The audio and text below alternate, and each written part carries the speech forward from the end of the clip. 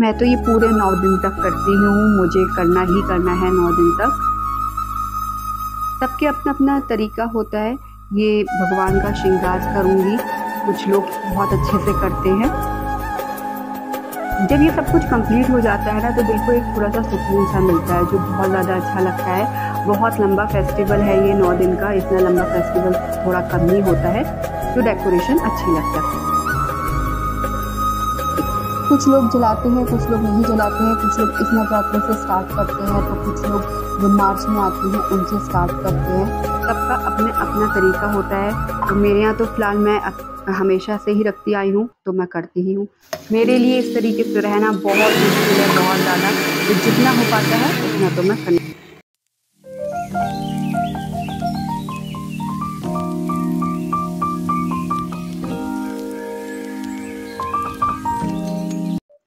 hello everyone welcome to my channel Anshi's corner तो सबसे पहले आप सब लोगों के लिए हैप्पी नवरात्रे। आज है नवरात्रि का पहला दिन तो आज से ये नौ दिन का लंबा फेस्टिवल स्टार्ट हो चुका है। तो मैं उठ गई हूँ और उठ के मैंने आज सबसे पहले अपने सारे काम निपटा लिए हैं, नहा ली हूँ, नाश्ता भी बन चुका है और लंच भी ऑलमोस्ट मैंने बना दिया है, क्योंकि मेरा तो आज फास्ट है तो मैं तो नहीं लंच वगैरह करूँगी, लेकिन जो मैं व्रत में खाती हूँ, वो मैं आपको वीडियो में आगे बताऊँगी। तो जैसे आप लोगों ने अगर मेरी वीडियो नहीं देखी है तो देख लीजिएगा। दो दिन पहले ही मैंने अपलोड किया हुआ है अपनी डेकोरेशन का। मैंने हमेशा फेस्टिवल की डेकोरेशन वगैरह एक दो दिन पहले ही कर लेती हूँ, ताकि फेस्टिवल वाले दिन मुझे बहुत ज़्यादा लोड नहीं होगा या बहुत ज़्यादा प्रॉब्लम नहीं होती है। तो मैंने माता रानी का दरबार तो पहले ही सजा लिया था। आज मैं सब भगवानों को स्थापित कर दूँगी और स्थापित करने के बाद उनकी पूजा करूँगी। और तो बस अब वीडियो स्टार्ट कर देते हैं। अब मैं सबसे पहले अपने भगवानों को नहलाना स्टार्ट कर देती हूँ उन्हें भी नए कपड़े पहना के तैयार कर देते हैं और उन्हें उनकी जगह पे बैठा देते हैं स्थापित कर देते हैं क्योंकि नौ दिन तक के लिए जो ये हम चौकी लगाते हैं वो नहीं हिलती है। देवी जी जो मैं बैठाती हूँ वो मैं नौ दिन तक नहीं हिलाती हूँ। तो चलिए फटाफट से अब मैं ये सारे काम स्टार्ट सो so, अब मैंने अपने सारे देवी देवता को नहला लिया है। तैयार करने के लिए उनके सारे वस्त्र निकाल के रख लिए हैं जो भी मैं नए लेकर आई हूँ। वैसे तो मैं हर त्योहार पे भगवान के भारी भारी और हैवी वस्त्र लेकर ही आती हूँ तो वो मैं ज़रूरी नहीं है, हर फेस्टिवल पे ही लेकर आऊँ। तो जो मेरे भारी भारी पोशाक होती हैं, उन्हें मैं अलग रख लेती हूँ इन्हीं फेस्टिवल्स पे पहनाने के लिए। जैसे कि ये पोशाक मैं जन्माष्टमी पे ही अभी लेकर आई थी तो जन्माष्टमी के बाद मैंने ये आज ठाकुर जी को पहना दी। क्योंकि डेली में हम इतनी हैवी हैवी पोशाक नहीं पहनाते हैं, जब हम खुद भी इतने हैवी कपड़े डेली में नहीं पहनते तो भगवान को भी नहीं पहना सकते। तो ये हैवी पोशाक मैं इनको संभाल के रख लेती हूँ फेस्टिवल पे पहनाने के लिए। तो ये जन्माष्टमी वाली आ, मेरी ये पोशाक है जिन्होंने जन्माष्टमी का व्लॉग नहीं देखा है वो एक बार जाके ज़रूर देख लीजिएगा। तो ये जन्माष्टमी की पोशाक मैंने ठाकुर जी को आज पहना दिए थे। बाकी कुछ और भी पोशाक लेकर आई थी वो नई थे तो उन्हें मैं अपने और भगवान को भी पहना दूँगी। तो सबसे पहले तो मैंने करा था ठाकुर जी का श्रृंगार। उनको उनकी जगह पे स्थापित कर दिया था। फिर मैं करूँगी ये दुर्गा माँ का श्रृंगार। ये इनके लिए सारे वस्त्र मैं नए लेकर आई थी और मैं आपको बता दूँ मेरी ये देवी भी नई है। तो इन्हें मतलब इससे पहले मैं तस्वीर रखती थी तो तस्वीर पे माला या ये सब चीज़ें थोड़ा सा आ, मतलब सेट नहीं हो पाता था तो इस बार मैंने सोचा था कि मैं देवी माँ की मूर्ति ही लेकर आऊँगी। क्योंकि मूर्ति पे श्रृंगार भी बहुत अच्छे से हो जाता है पोशाक भी बहुत अच्छी लगती है। तो ये सारी चीज़ें मैं उनकी लेकर आई थी तो मैंने उनका इस तरीके से श्रृंगार कर दिया था। वैसे तो और भी श्रृंगार किए जाते हैं मूर्ति का और भी श्रृंगार किया जा सकता है, लेकिन मैंने ज़्यादा नहीं किया था, मैंने सिर्फ़ इसी तरीके से हल्का श्रृंगार किया था, क्योंकि मैं एक बार मार्केट से पूरा श्रृंगार कराऊँगी, उसके बाद ये सब करूँगी। तो मैंने देवी माँ को पूरी तरीके से दूध दही से नहलाकर अच्छे से कर लिया था, उसके बाद मैंने इनकी पोशाक पहना दी थी। अब ये देवी माँ को मैं आज यहाँ पे चौकी पे विराजमान कर दूँगी।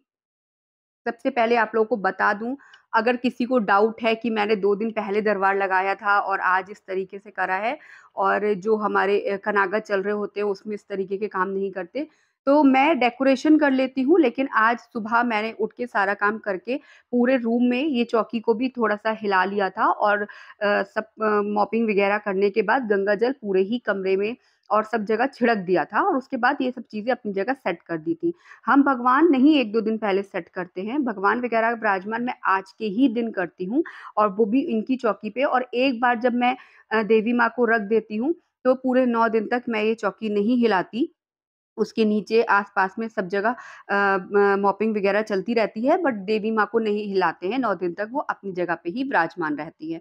मेरे यहाँ तो कुछ इस तरीके से है। तो फ़िलहाल ये मूर्ति में मुझे ये डेकोरेशन बहुत अच्छी लग रही थी, श्रृंगार बहुत अच्छे से हुआ, चुन्नी वगैरह बहुत अच्छे से पहन पाई, जो तस्वीर पे होना थोड़ा-सा मुश्किल होता है और ये मैंने आपको पहले भी दिखाया था, जिन्होंने मेरा लास्ट व्लॉग नहीं देखा है वो देख लीजिएगा।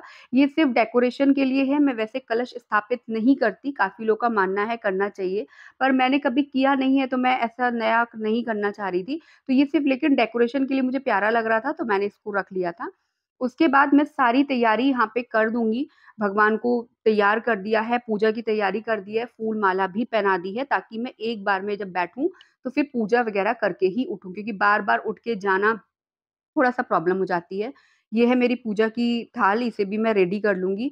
फूल से धूप-बत्ती वगैरह आप लोग जैसे जो-जो यूज़ करते हैं, मैं तो फ़िलहाल फूल, रोली, चावल, धूप-बत्ती और बत्ती वगैरह सब सेट कर लूँगी। और ये मैंने अखंड जोत तैयार कर ली थी, इसमें काफ़ी पहले मैं लगाती थी रुई की बत्ती, जो बार-बार मुझे बहुत प्रॉब्लम करती थी, तो मैंने इस बार ये कलावे की करने की कोशिश की है, क्योंकि मैंने काफ़ी लोगों से सुना था, यूट्यूब पे भी देखा था, काफ़ी सारे लोगों ने मुझे बताया भी था कि अगर आप इस तरीके से करेंगे, तो प्रॉब्लम नहीं होती है। तो मैंने इस बार कलावे से करी है और ये अखंड जोत मेरी पूरे नौ दिन तक चलती है। जिस रूम में भी हम देवी को विराजमान करते हैं, रखते हैं, उस रूम को मैं कभी बंद नहीं करती, ताला नहीं मारती हूँ और नौ दिन तक तो वैसे कहीं नहीं जाते। तो ये सारा श्रृंगार करने के बाद मैंने थोड़ा-सा परफ्यूम भी लगा दिया था। तो ये चंदन का इत्र है, ये कुछ इस तरीके से स्प्रे वाला भी मिल जाता है, मार्केट में भी आपको आसानी से मिल जाएगा। सारा श्रृंगार करने के बाद मैंने भगवान को थोड़ा-सा परफ्यूम भी लगा दिया, हम लगाते हैं तो भगवान का लगाना भी ज़रूरी है। फिर मैंने कर ली थी अपनी पूजा, तो पूजा करने के बाद मैंने अग्यारी की थी, वैसे कैसे भी कर सकते हैं, अग्यारी पहले कर लो, पूजा कर लो, जैसे भी सही लगता है वैसे कर लो। फ़िलहाल मैं यहाँ पे पूजा की सारी तैयारी कर दूँगी ताकि जो भी मुझे बार-बार उठना ना पड़े।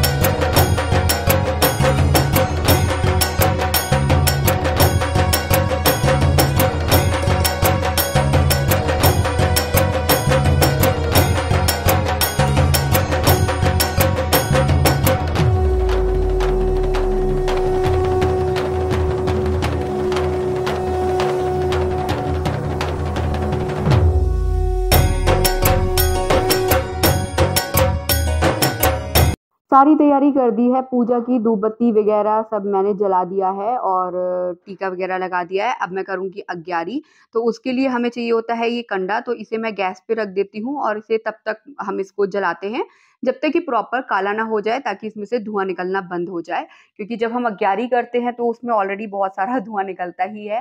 सबके अपना तरीका है, कुछ लोग सिर्फ़ आज के दिन और लास्ट वाले डे करते हैं, कुछ लोग पूरे नौ दिन करते हैं। तो मैं तो फ़िलहाल अग्यारी पूरे नौ दिन करती हूँ, सबके अपने-अपने करने के तरीके हैं, अपनी श्रद्धा है। पूजा होनी चाहिए श्रद्धा के साथ, फिर आप कैसे भी कीजिए, सबके अपने-अपने रीति-रिवाज़ हैं। तो मैं फ़िलहाल करूँगी अग्यारी और अग्यारी में मुझे चाहिए होता है लौंग का जोड़ा, कपूर बताशे, फूल और हवन सामग्री। एक तरीके से छोटा-सा हवन जिसे बोल सकते हैं, उस तरीके से मैं कर लेती हूँ। और ये मैं रोज़ करती हूँ, पूरे नौ दिन करती हूँ। तो ये मैं अग्यारी करने के बाद करूँगी भगवान की आरती और आरती करने के बाद मैं जाऊँगी अपने और काम के लिए।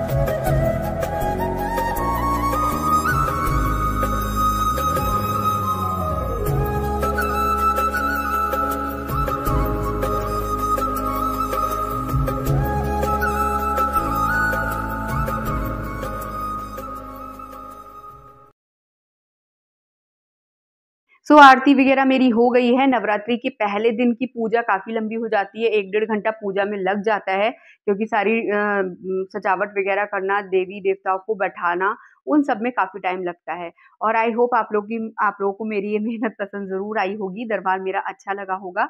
अगर अच्छा लगा है तो चैनल को लाइक करना बिल्कुल नहीं भूलिएगा सब्सक्राइब करना भी मत भूलिएगा और मेरी वीडियो को शेयर करना भी मत भूलिएगा।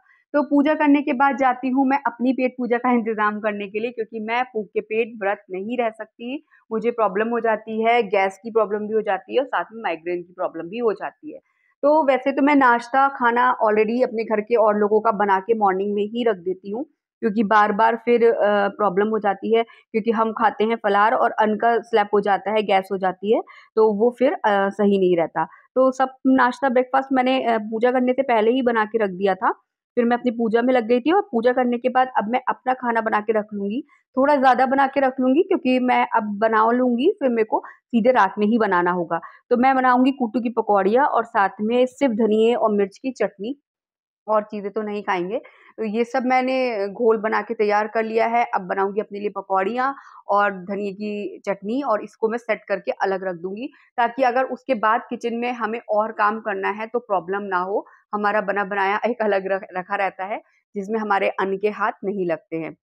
वरना जिनके घर में छोटे बच्चे हैं या फैमिली थोड़ी बड़ी है तो वहाँ थोड़ा सा प्रॉब्लम होती ही है। अगर आपके घर में सब लोग फास्ट रखते हैं तो तो कोई बात नहीं है। एक आध नहीं रखे तो तब भी एडजस्ट हो जाता है। बट जब का फास्ट हो कोई फास्ट नहीं रखे तो एडजस्ट करना थोड़ा सा प्रॉब्लम हो जाती है। तो मैं ये सब चीज़ें करके सेट करके रख दूँगी और आई होप आप लोगों को मेरा ब्लॉग पसंद आया होगा। जिन्होंने भी मेरे चैनल को सब्सक्राइब नहीं किया है गाइज़ सबसे पहले फटाफट से जाके चैनल को सब्सक्राइब कर लीजिएगा और जो भी मैंने चीज़ें यूज़ की हैं, ऑनलाइन अगर मंगाई हैं तो उन सबके लिंक भी आपको नीचे डिस्क्रिप्शन बॉक्स में मिल जाएँगे। और मेरी इंस्टाग्राम आईडी को भी फटाफट से आप लोग फॉलो कर लीजिएगा, जिसका लिंक आपको नीचे डिस्क्रिप्शन बॉक्स में मिल जाएगा। और डेकोरेशन की व्लॉग भी मेरा आ चुका है दो दिन पहले तो आप मेरे चैनल पे जाइएगा और चैनल पे जाके मेरी लास्ट ब्लॉग देख सकते हैं। उसमें मैं आपको देवी माँ का पूरा दरबार मैंने कैसे सजाया कितना क्या चीज़ें लगाई हैं, सारी चीज़ों का ब्लॉग आपको उसमें मिल जाएगा। और साथ ही साथ नीचे डिस्क्रिप्शन बॉक्स में भी मैं उसका लिंक आप में डाल दूँगी। आप लोग वहाँ से भी डायरेक्टली चेक कर सकते हैं। तो आप लोगों को ये सब चीज़ें पसंद ही आई होंगी। तो पसंद आई है तो प्यार दीजिएगा, खूब सारा खूब सारा वीडियो को शेयर कीजिएगा। मिलते हैं नेक्स्ट ब्लॉग में, तब तक के लिए बाय बाय